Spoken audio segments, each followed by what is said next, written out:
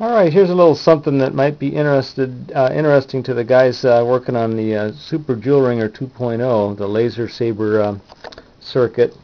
And uh, Peanutbutter 291 uh, showed a video before he took it down of a little audio transformer that was hooked up to this Joule Ringer 2.0 circuit and uh, got it to run 110 volt LED bulb. Now I'm using a corncob one here, but uh, um, anyways, what I wanted to show here was uh, I've got a little photo cell hooked up here, and I've got a solar uh, cell phone charger here that has a lithium battery in it.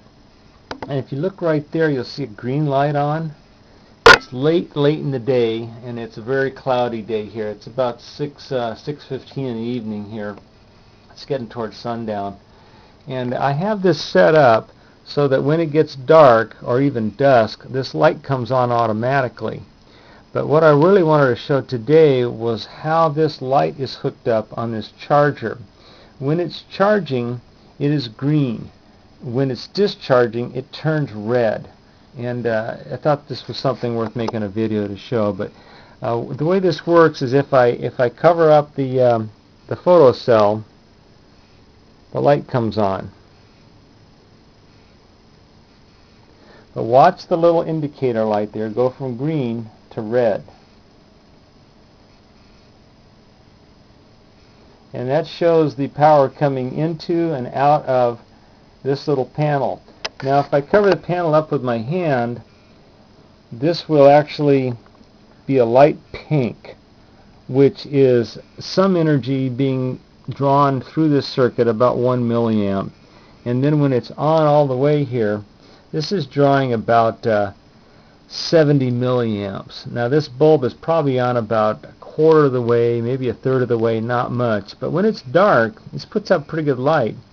And you can see that that uh, indicator light there is red.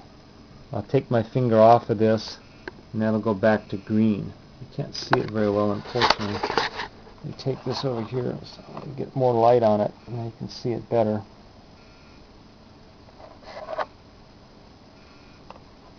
Cover this up, it'll go out completely.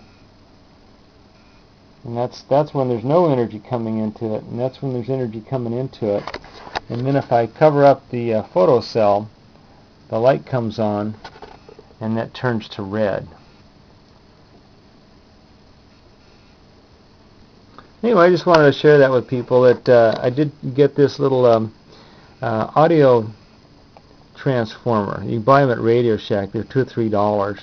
And uh, I'm using a TIP31 here. Um, this is a 10K resistor on the base, and then the photo cell goes between the um, collector and the emitter on the circuit. And then this, of course, is just the uh, LED bulb. Now something else I found out that not all the bulbs have the same kind of circuit inside them and some of the bulbs work and some of the bulbs don't work with this circuit very well. So that is something that uh, I always thought was that this circuit inside the AC bulb has something to do with why this circuit works. But uh, anyway, this is kind of a, a, solar garden light for the rich and famous right there. Uh, this garden light, uh, if you had this set up, would probably cost you 50 60 dollars for something like this the time you bought this and had it built and all that so not very cost effective but interesting. So anyway I just wanted to share that with people that uh, that little um, audio transformer does work on this circuit too. Thanks for watching